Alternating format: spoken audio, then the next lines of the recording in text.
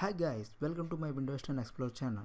Today I'm going to use a simple PowerShell command technique to create a small notepad file which is store the file names, folder names of a given specific folder list folder folder.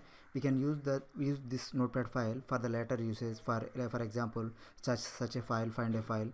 So this will be pretty handy by using a simple notepad file. So i'm going to show you how it is done. First of all go to the directory or go to the folder which you want to create a list list of files list of notepad file. So here i'm going to the download file. In here i have so many data folders and files stored in this stored in the download folders. So i'm going to create a simple notepad file to store all the all the folder name file names on on this download folder. First of all i'm going to this pc the download i'm going to use the download folder to create a notepad file in the download folder we are going to need open this download download folder path in the PowerShell. To do this we are going to say right click on the download folder. But before right clicking on the download folder we are going to press shift key when you press sh shift key and right click at, at, the download folder you can see there is one option open PowerShell window here. If you are using Windows 10 this option is visible. If you are using Windows 7 or Windows 8 there is there is no PowerShell in the previous Windows version. So you can see open command prompt window here. There is no difference in the command prompt or PowerShell. So we are going to PowerShell window here.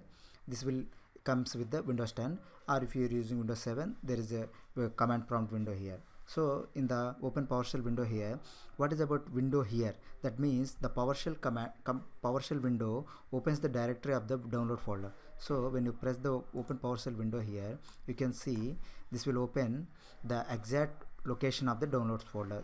So you don't you don't go to oh, you oh, back and forth to open the download folder in the PowerShell. So in the download folder we are going to type a specific command to create a notepad file to store all the file names for folder names of this download folder. So i'm going to type dir give a space and type like greater than symbol. So after typing greater than symbol we are going to press space. So after we need to create a notepad file. So we need a notepad file name. So i mean notepad test name. So we can give any desired name. So i'm going to create a name download list. So i'm giving the name because this this is the what i want to do. So uh, i'm going to give download list. Then we are going to add .txt so this command create a download list.txt file with the directories i mean directory of the download folder. That means now for files and folders in the download folder. So then press enter. This will give this will do a new line just close the PowerShell window and close the my computer then reopen the power my computer I mean this PC and go to the download folder. You can see there is a download list option with the txt file which is created just now. Just open the download list.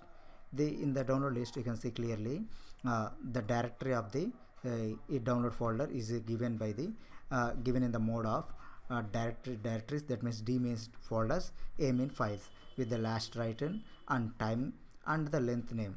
So the name is given. We can use we can store this we can store this notepad file for later uses of any find and replace folders. So i'm going to type i'm going to save this download list folder. You can save the you can save the note uh, this type of notepad files to check or to compare uh, what are the files are stored in in the certain directory a certain folder. We can do this on any any drive any drive any folders any subfolders but we cannot do it on the uh, c drive. That is the system drive. We need uh, some authorization to do this. So we cannot do powershell command in the c drive. We can do this on other sub drives